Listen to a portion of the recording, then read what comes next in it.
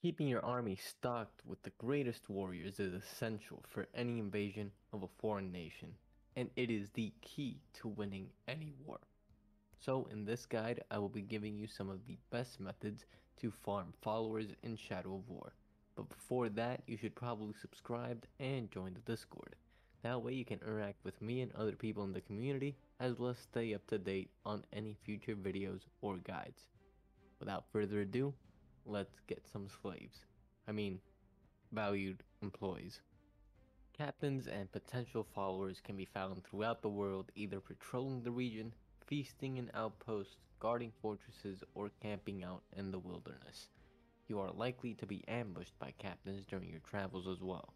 So, this is the first method. You simply go throughout the region and dominate all of the captains currently deployed to it. This includes Nemesis missions, outpost raids, and war chief assaults.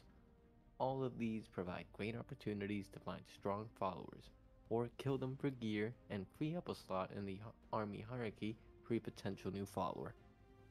This is a great way to get orcs, as these invasions will trigger a battle between the region's current captains and the slaughter or outlaw tribe invaders, similar to a war chief riot when you command an allied war chief to attack an enemy war chief. This will allow you to get over 8 potential followers all at once, making it one of the fastest and most efficient ways to either get orc fast or get some more gear and free up a lot of slots. You can also get orcs from chests given to you through the Blade of Galadriel DLC. These are accessed after completing the DLC and will be available in the garrison when playing the main game. It grants some of the coolest looking orcs in the game. Finally, we have the fortress defenses and online ranked fortress sieges. These are by far the best way to get some of the strongest followers in the game. Let's start with fortress defenses. These are available after completing the game and will trigger an attack that will bring more than 12 orcs, including war chief assault leaders and their bodyguards.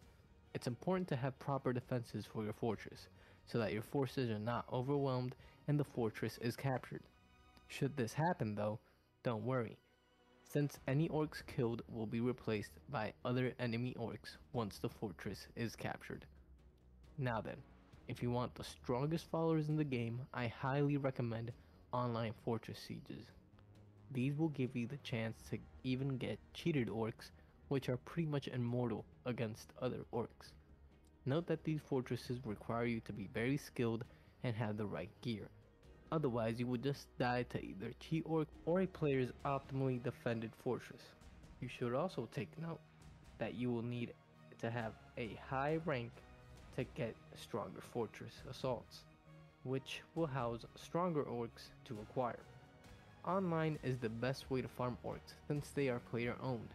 This means that every orc, with the exception of cheat orcs, are guaranteed to not have Iron Will so they can all be dominated and recruited into your army. And since these orcs are especially catered for fortress defenses and sieges, you can be sure they will be very strong.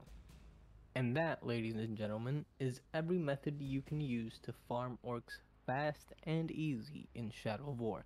Not to mention, you will probably create some unique stories and encounters with a few of Mordor's most dangerous and quirky characters.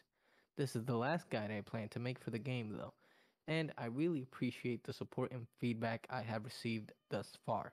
We're already at 670 subscribers and I hope we can get to 1000 by the end of the year. The next game I plan to cover is Project Zomboid, starting with a beginner's guide to the first 7 days. But I also plan on covering some of the more unique aspects of the game, since it's quite detailed.